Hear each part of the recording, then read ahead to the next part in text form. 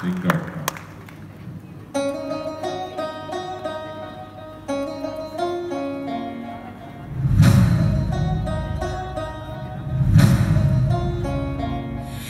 grew up wild like a